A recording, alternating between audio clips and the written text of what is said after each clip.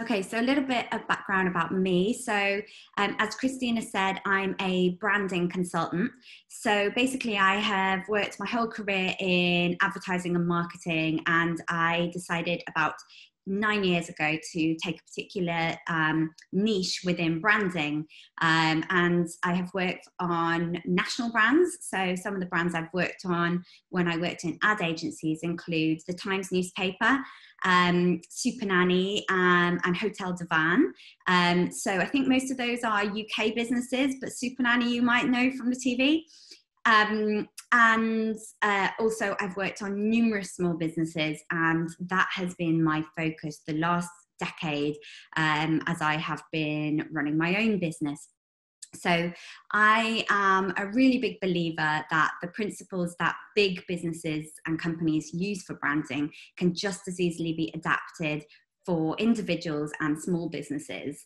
Um, branding is all about uh, creating the image that you want to be perceived as and putting it out there into the world. So I think that it gives small businesses a really big opportunity to to ensure their success. And i think for individuals personal branding is excellent in that way because it helps you shape up uh, your image in the way that you'd like to be perceived. So uh, without further ado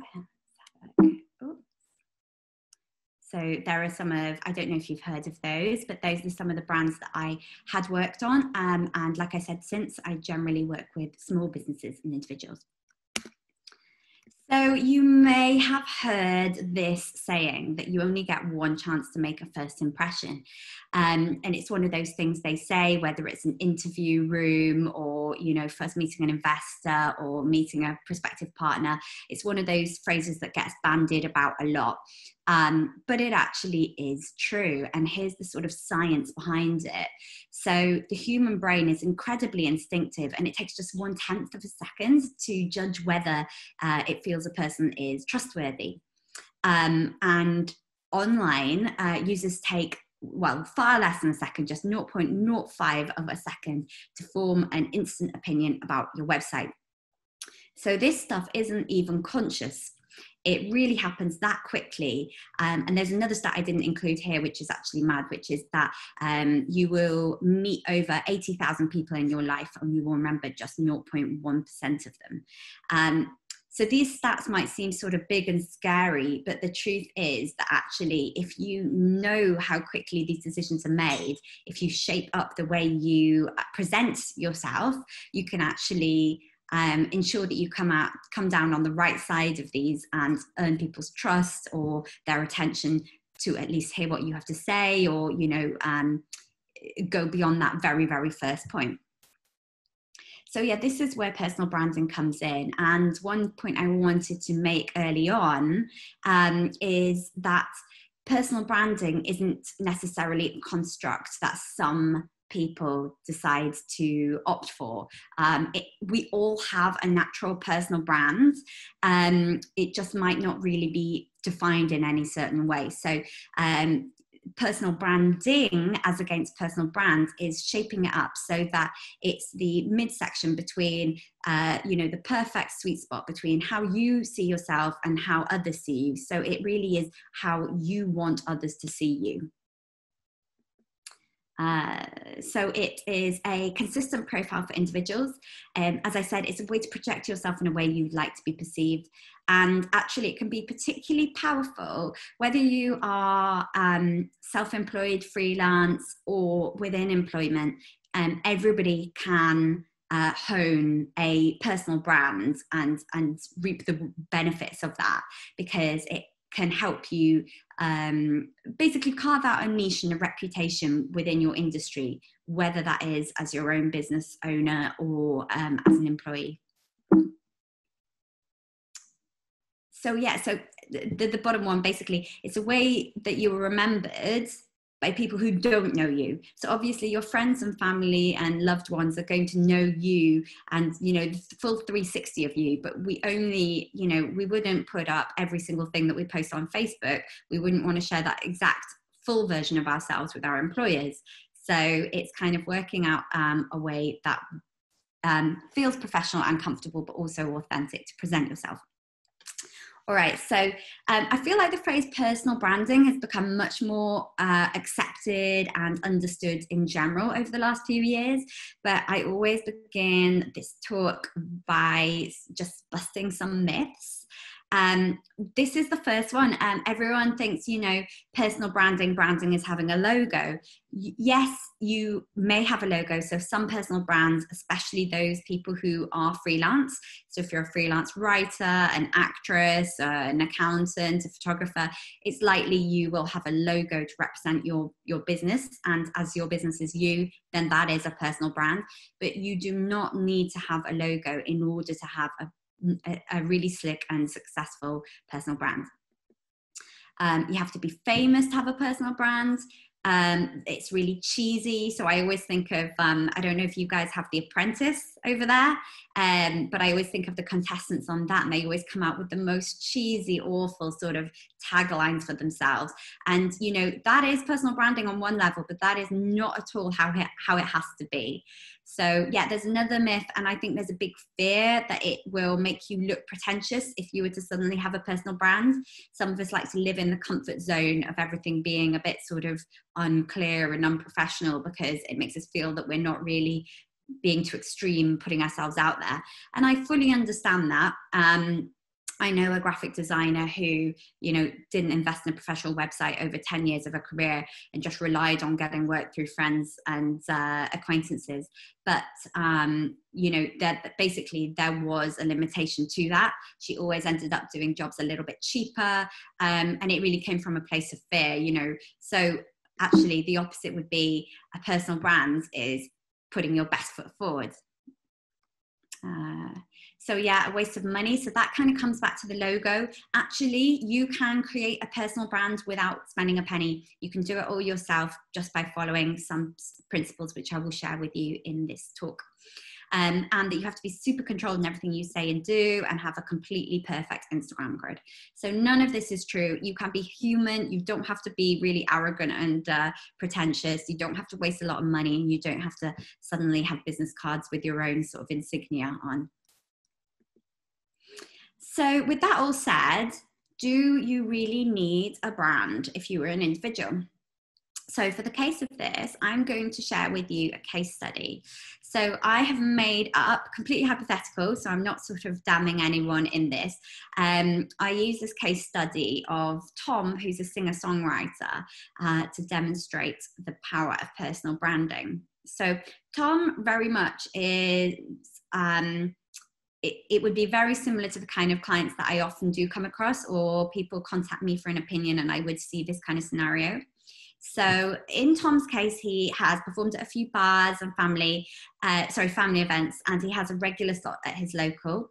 Um, so you know he has a lot of uh, support in his friends and family, and think he has some talent. So after he's had a bad string of day jobs, he's decided to make a go of it.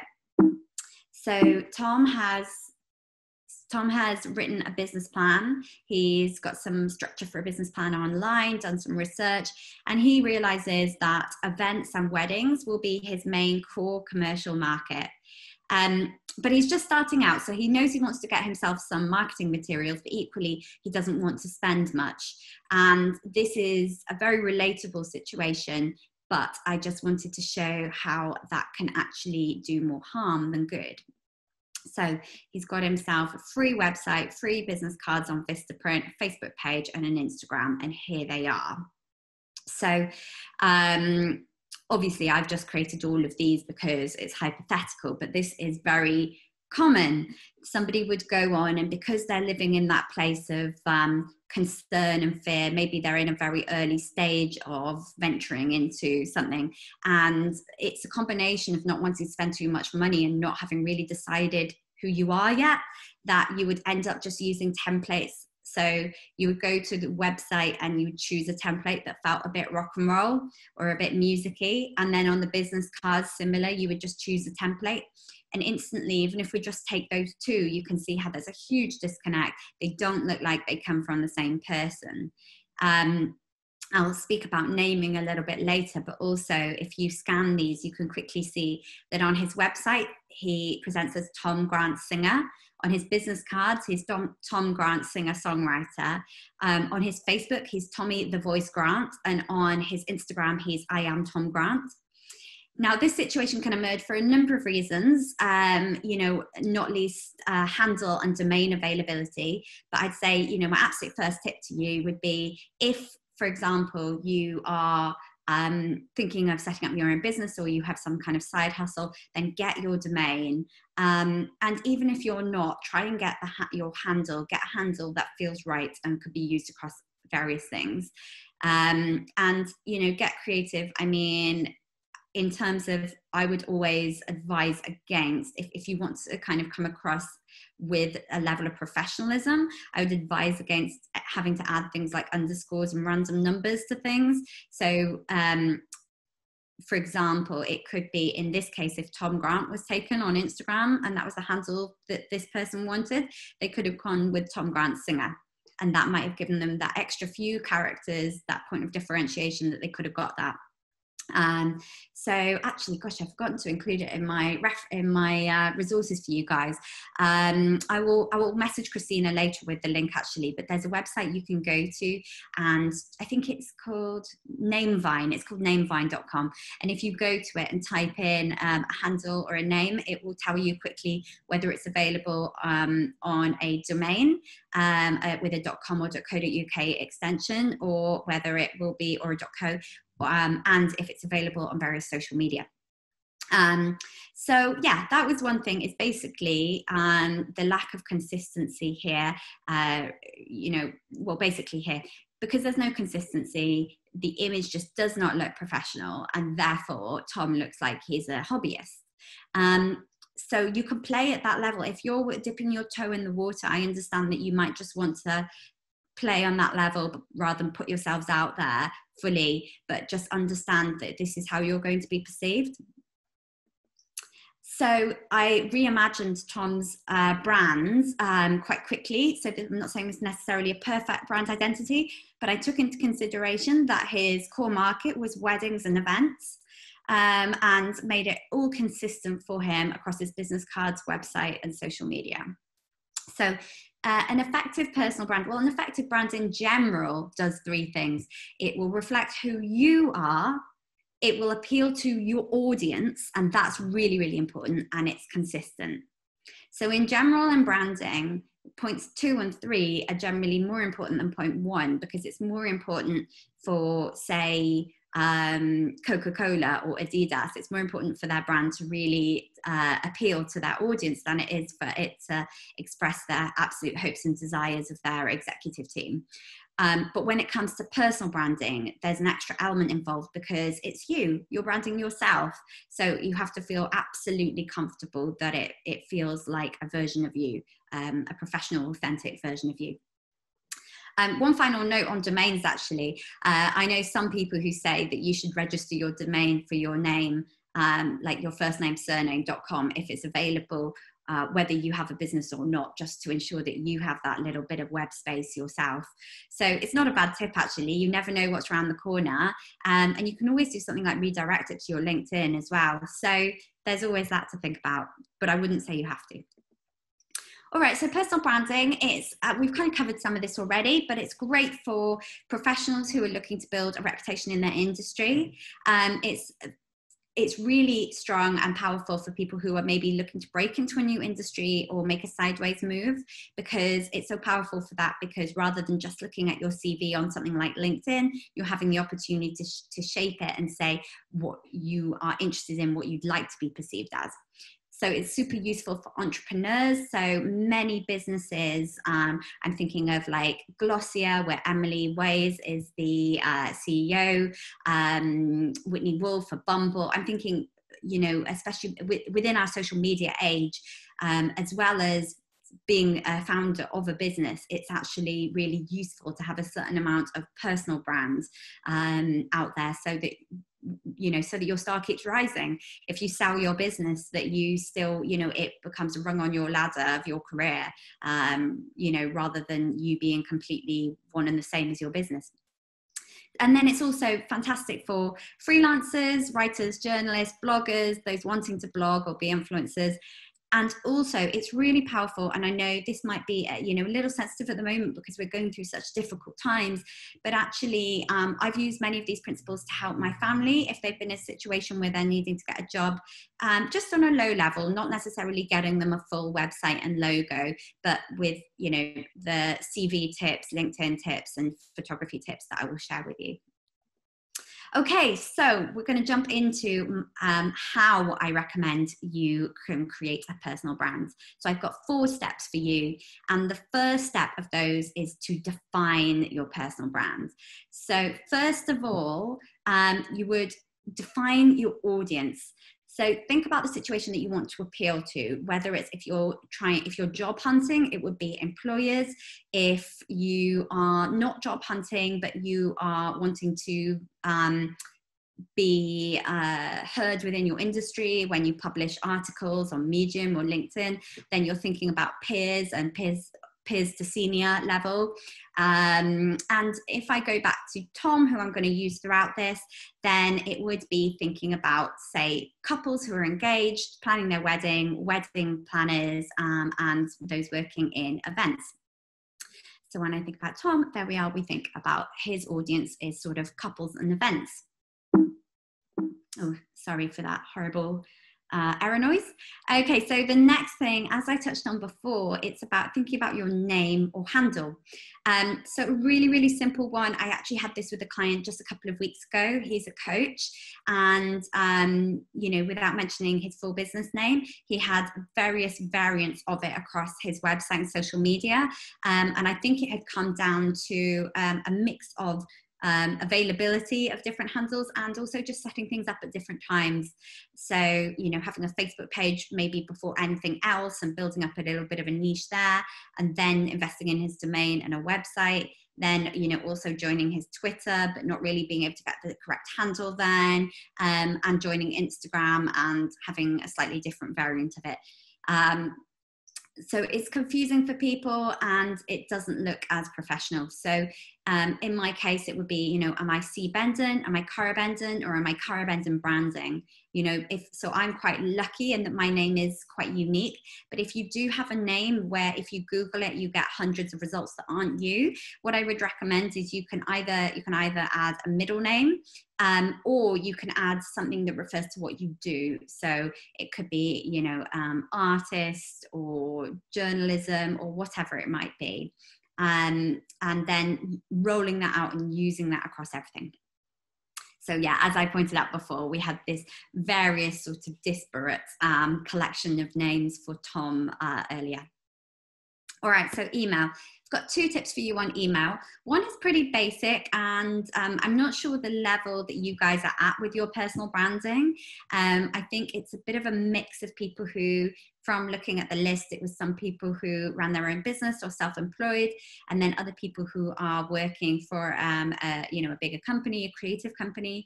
So you may already have this down, but basically if you already if, if you are still using an email address you've had for donkey's years and it's got some sort of nickname or a joke or it's got extra numbers or underscores in it because you you know you couldn't get the hotmail you wanted back then then it's really time to say goodbye to that.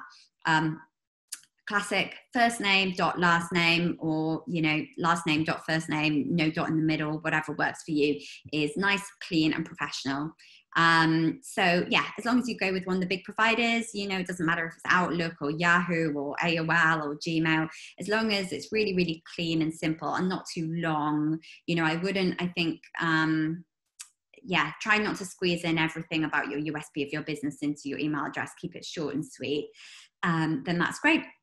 And the second one is I really recommend that you create a simple email signature. So this could be your first step into elevating your personal brand if you are an employee and you haven't really taken that you know you have your company email and company signature and you haven't really thought about creating anything outside of that for your private email then you could just go in really gently and just create an email signature that has your name um, you know what you do if you're a marketing professional whatever it could say something like that.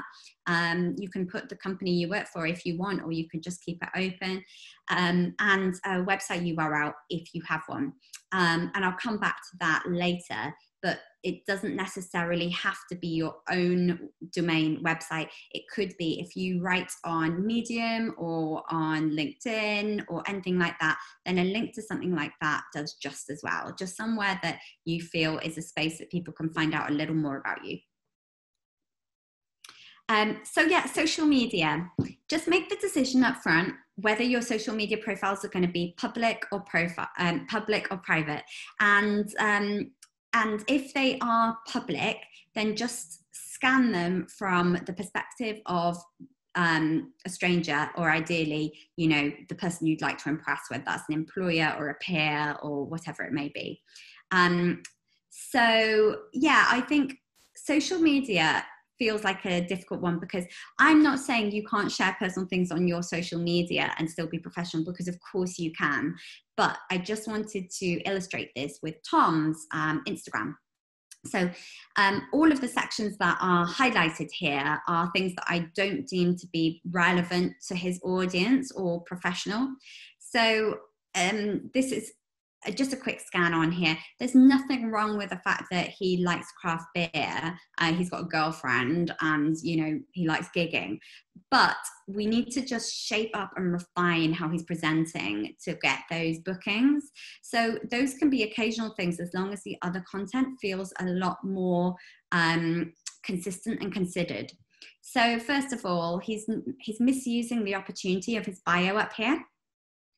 Uh, I have a little bio challenge for you guys later. But what I would generally say is keep it really short and clear. Um, so he's misusing this opportunity because yes, he's got music in. It, I mean, it shows personality, but um, this feels like a very personal profile rather than something that could potentially work for um, the couples or event organizers that might see it. So instead, he should have put down, you know, singer songwriter available for weddings and events. Um, and then, you know, he could have put singer songwriter with a, a, love of craft beer, and that would have been absolutely fine. And but he should have a URL to some kind of website in there um, since he is trying to promote his business. And in the highlights, they're really badly used. We've got one that's simply called highlights. It hasn't been renamed. So I see this all the time. People have five or six highlights just called highlights um, you know, use your highlights. It's literally a place where you can put at the top of the page the things that are most relevant that you most want people to see. And this isn't just for big companies or for bloggers and influencers. You can do this too. If if your if your social media is public, then it's well worth doing. So in those highlights, he could have called them live gigs, weddings, new songs. Um, but the fact that he's got highlights, Ben Stag, and tunes just seems a bit informal. Um, and yeah, so basically, there's no content there that particularly promotes weddings. If there was, I'd say some of the other content would be okay to mix in, but the ratio is off. He's got six um, images that are to do with his personal pursuits, um, and six that are to do with music, and all all of the six that are to do with music look pretty informal as well. So you can see that overall, you'd come here and it wouldn't really inspire trust to hire him and that's what it really comes down to um, if I'm being really brutal about it. So, um, you know, back to that first impression, it really counts. So, yeah, here I would say a photo. Now, I know at the moment um, it may be a little bit harder than normal to get um, a photo shoot, but I know a lot of photographers who are doing, you know, um, socially distanced photo shoots and taking that very seriously and being very careful.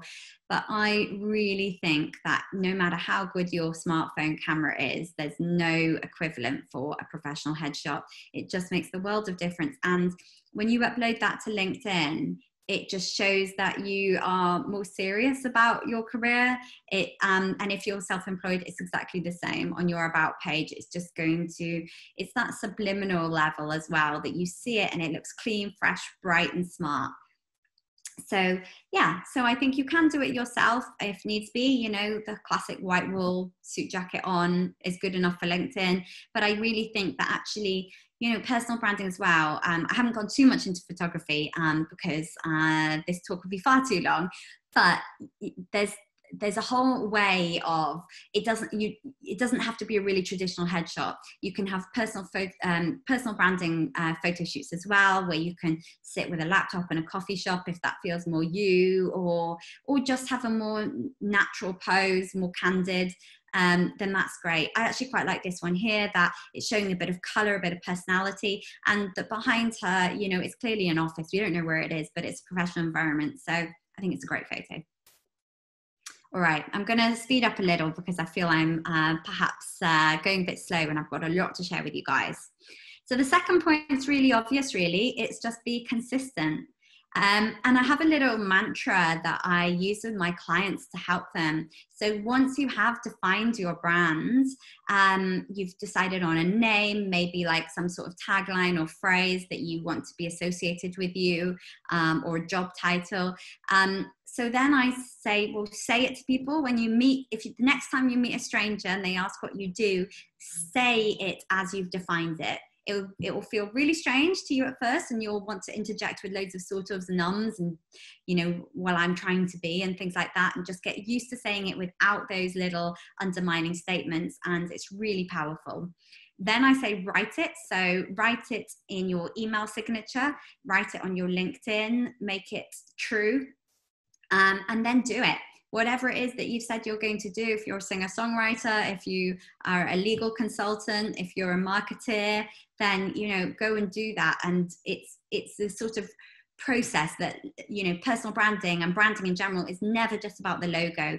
The more you do something and say it and show up and speak about it the more that will resonate and become really authentic about your brand rather than you just saying something and having a snazzy logo okay so um, on your CV, some of these might be obvious as well. Um, like I said, I've spoken to people at different levels um, for this talk, so I thought I'd include all these pointers. But basically, I really, really am a strong believer that a CV does not need to be jazzy. Um, you know, I've seen some with music on and uh, gradient backgrounds and photos, and I really don't believe it needs to have any of those things. You can keep it really classy, sorry, class, classy and classic and simple.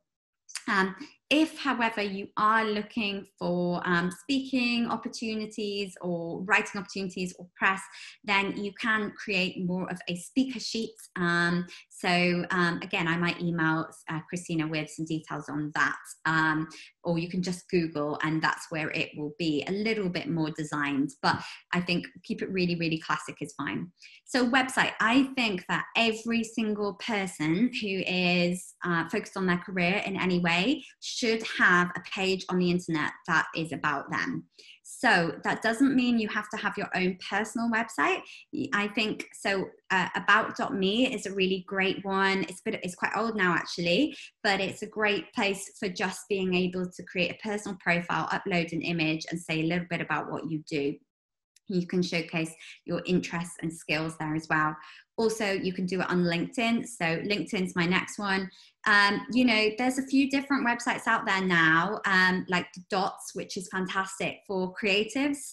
Um, but I'd say that LinkedIn still, you know, has the mammoth share of um, of search results and has most people on it. So I'd say if you're not on LinkedIn, you know, do something about it. I think it's really good to have a LinkedIn profile um, and just yes, make sure that you click to view it as uh, a visitor so that you can see how you are coming up.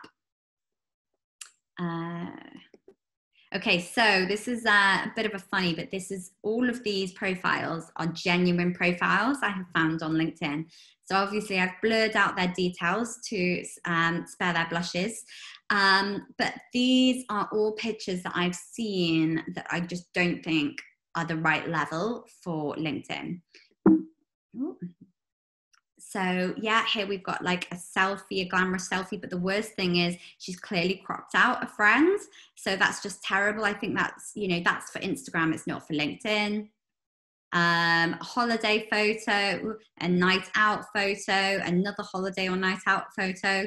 uh, posing at a wedding, out and about. You know, I think basically you can see what's going wrong. They look like lovely, warm people, but it doesn't look professional. There's a time and a place for these things, and I think you know keeping them um, keeping them to um, your your private social media or more informal social media is the way to go and also actually this header section um, you can simply use a tool like Canva um, to create uh, a graphic. And actually, I know later this week you have a talk, a fantastic talk about how to design um, simple pieces of content with a graphic designer. Um, I'm not saying you have to because I really don't think that everybody has to, but you can use that as a space to um, put your website URL or show a photo of something like a conference or a talk that you were at, or if you do anything creative, like if you're a jeweler or a cake maker or a fashion designer, upload a picture of your work or behind the scenes, and that will really help just elevate and bring a sense of personality um, to your brand.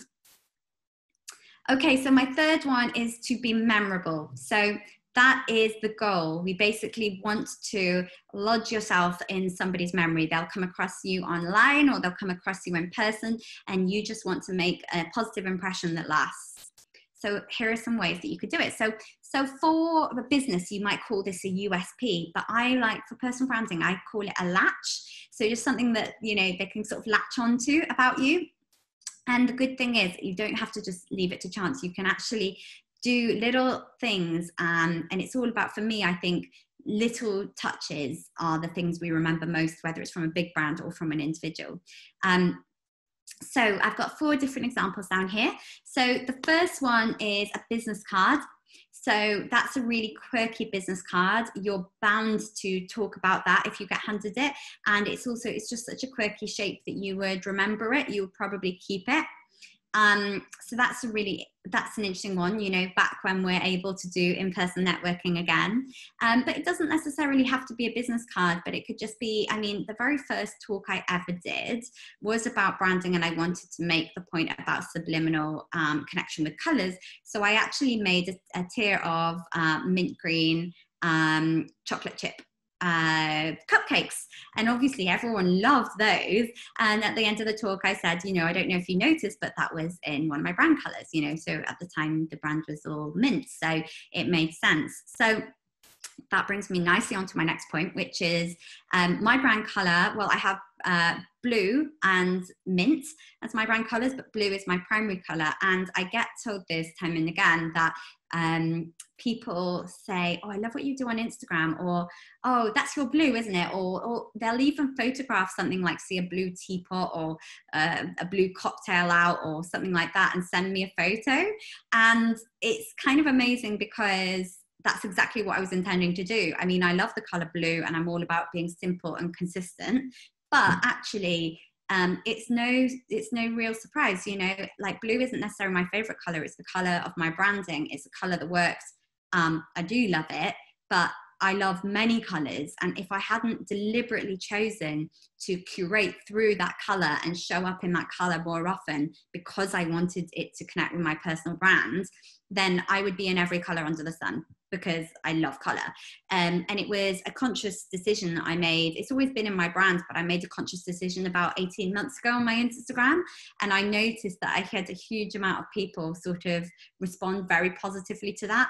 Um, and that's just the people that message me. So essentially, I know that it works. It's one of the simplest tricks we use with small business branding is to pick one color and go for it because um, up to 87% of the uh, of, of, your um, sorry up to 87% of um, somebody's uh, first impression about a brand is made up from the color. Because our brain reads color and then it will roughly read form and, and shape and then it will read text so the color is very instinctive. It's why you may notice that own brands in supermarkets uh, rip off quite closely the shape of packaging and color of packaging and labels of well known brands. Um, and if you're in a rush, you may end up coming home with the wrong version of a product because they so closely mimic it in order to try and you know uh, muzzle in on that market share for the much bigger and more recognized brand so yeah my third tip is you can do something as simple as just leaving like giving a handwritten thank you note or sending a christmas card little things like that. Um, it will really depend on your work the type of work you have or the business you have but there are so many little ways to be remembered. Um, and it can just be as simple as you know introducing yourself on email um, and you know asking if there's anything that you can do or or, or leaving somebody a voice note after they've met with you in person rather than just texting or something like that anything that little that humanizes it is a really good way to be remembered if you haven't met a person especially and then finally, I actually included, and she, she may be on the call, so hello if so, but I included a designer, Ellie, that I came across very recently on Instagram. And um, she felt like the natural choice because um, I love when people include something quirky in their bios, in their social media bios that makes them memorable. And like I said, I very newly just started following Ellie. And obviously she's a designer so we're working very related fields so i was interested in what she did anyway and i saw her logo and i thought it was really sweet so that kind of stuck in my mind but it wasn't until i went to her profile because i follow a lot of designers honestly um, and it wasn't until i went on her profile and i saw that she um, does nail art and she has a whole account for it and she's really good at it that it stuck in my mind because i thought oh that's quirky you know? Like she does it and she's at that really high level in it. So i remembered her and especially you know the, the sort of uh, down to earth tone of of, pre- presenting it as you know think i'm a nail artist. You know it's quite um uh, you know it, it's um it's quite humble and and um it's got a warm tone of voice about it. So instantly she was remembered so I think that's a really nice way is just including some personal quirk um, that can help you be remembered. Other things as well could be like if you've got a signature kind of thing, like you always have a red lip for it, you know, then that's great too. Um, whatever it might be. I had a somebody I worked with. Um, uh, one managers in advertising was never in a flat shoe. And i remember that that was literally in her twitter bio. I you know i feel lost in a flat shoe. And it really stayed in my mind but it was true. She never was. So some ideas for you there. All right, so earlier I said I had a little challenge for you guys. So um, try in 10 words or less. So obviously you can do this after this, but have a little think and let it let it whir in your brain this afternoon. And um, yeah, do do tag me on social media if any of you change your bios. By the way, I'm at Cara Bendon. Um, I'm mainly just on Instagram these days. I am on Twitter too. Um, but yeah, basically, um, I'd love if some of you did change your bios as a result. Um, 10 words is brilliant. If it's a bit more, then fine. Um, but try and write a bio that will grab attention, explain what you do, and have a little quirk. So I've written some little examples for you here. So instead of just saying that somebody is um, a journalist for Guardian Film um, or you know media journalist for Guardian Film, I've put chocolate lover and film noir enthusiast right for Guardian Film. That one's quite nice as well because it places the person before their job. Um, and then this one is the opposite way, um, information architect, compulsive reader, pensive writer, husband and dad. It gives you a, a, a real sense of what that person is as well as what they do. So it brings them to life.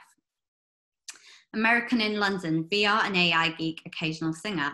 Again, you get a snapshot instantly, or at least I do, of who that person is. Um, and finally, fan of one-liners and eyeliners, senior features writer at Who What Wear. So again, it's it's it's it's funny, it's memorable, and it gives you a sense of what they do and who they are. Yeah, let, let me know how you get on with that. If you if anybody does that, I'd love to know. All right, so my final tip is once you have defined your brand, thought about your audience, your name, how you're going to present yourself, got your handles, maybe got a website, um, you have uh, written your um, your CV, you've got your professional headshots, um, you have. Uh, I'm trying to think of all the other tips I said, but basically, once you've done all the above, the most important thing is to have confidence. So, um, if you try to be completely perfect and curate to a super high level, trying to second guess what people want, then it will no longer be authentic and actually you'll hide that that personal brand you already had because let's remember personal brand is something you have anyway personal branding is shaping that up in a way where you take control of the narrative. So life isn't as flat as Instagram. So show your true colors and be passionate about what you do because I think passion really is it's going to come through in anything. Uh, so yeah, obviously the very famous quote, be yourself, everyone else is already taken uh, by Oscar Wilde. But um, also, this is from um, a, an entrepreneur who I saw um, speak last year. And um, I liked that she said this. She said, Do what lights up and it will lead to your personal brands. So, actually, a sort of different way around of thinking about it. So, if you're a bit undecided, then do what you you know pursue with passion what it is you're interested in and, and a personal brand a pattern will emerge another really good tip actually is ask a friend ask a friend how they might describe you because it can be very hard for ourselves to get outside of uh, well to get outside of ourselves and know how to present ourselves so um, a lot of what I do is providing, you know, sort of knowledgeable objectivity for clients. Um, but you know, you can you could just ask a friend as well. All right, so some of the resources I mentioned earlier. All right, so um, Exclaimer is an email signature tool. So if you if you have your own uh, website, your own business, then you probably worked with well, you may have worked with a web developer, and then they can actually custom code you or design and custom code your signature. But for the point of this, you know, let's assume that it's just a personal brand. You haven't invested in a logo design or a developer or anything then you can create your own. So here's a little picture of me down here. And actually my point about blue is, is, is uh, coming to the forefront here because here I am in red because I like all colors. And it was before I sort of uh, decided to curate my image uh, as more blue. But um, I had just uploaded a headshot, um, put in my name and details there. Um, and it, I think that's you know that's a pretty good first step. Um, if you're uncomfortable putting your photo in then you know you needn't you can just format putting in your your name your job title and some social media links or a website link. But i do think that actually while i wouldn't have an image on a cv having it in an email signature actually shows a level of professional awareness um, and ambition that's quite impressive so then, um, in terms of having a page on um, on the web on the internet, so that's what I would say. You have a page on the internet that is dedicated to you. So you can go to about.me for a free page, and you can also go on LinkedIn. Um, then there's also the dots, which is fantastic. It's sort of like LinkedIn for creatives. Um, you can also join Medium. So Medium's fantastic if you um, if you want to be seen as a bit of a thought leader, if you write, um, you don't necessarily have to be a writer. If you are somebody who can write about your subject area, it's so widespread, and I always find something fascinating on there. Um, what I would say is you don't have to choose one of these. You can be across all of them because it will only strengthen your personal image. The more times you come up on Google, you know, the, the better, really. So if you, you know, another thing you could do actually is Google yourself and see how many of those are, are you. Um, if you've got um, a name that's a bit more common, you might just have to work a bit harder on that, but it's completely doable. Um, leave your imprint on the internet in a way that you want it to be seen, and it will really raise your pro- raise your profile. Um, and uh, if you, you know, if name um, isn't an issue, like you have a more unique name, still go and do this exercise because you'll be surprised how much of the past it, it sort of drags up. And the aim of the game is not to see your Facebook first you know, because Facebook is, you know, everyone has Facebook. It's to maybe see do you have a LinkedIn? Do you have a website? You know, do you have a Medium page? Are you on Twitter? Were you featured in Nanny press? Those things all are really, really good and build a lot of credibility.